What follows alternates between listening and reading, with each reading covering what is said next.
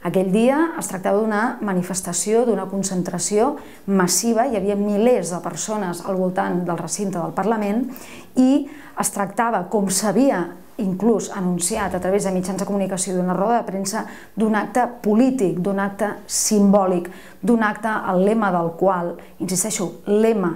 consigna era aturem el Parlament, però evidentment ens, movien en el, ens movíem en el terme de lo simbòlic. Entenem que és molt greu i que fins i tot es dona la paradoxa que la pròpia Audiència Nacional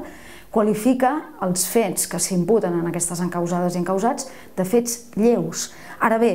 entén que aquests fets lleus, en aquest context general d'atenció, suposa una intimidació ambiental que fa que es pugui atribuir a aquestes persones comportaments greus, delictius i als quals van associades penes que suposarien, inclús per la gent sense antecedents, un ingrés a presó.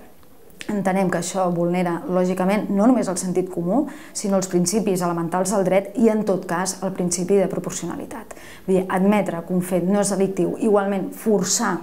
forçar un enjudiciament en aquests termes esdevé del tot improcedent. Entenem que és un procediment de criminalització de la protesta i que això no hi ha lloc a dubte.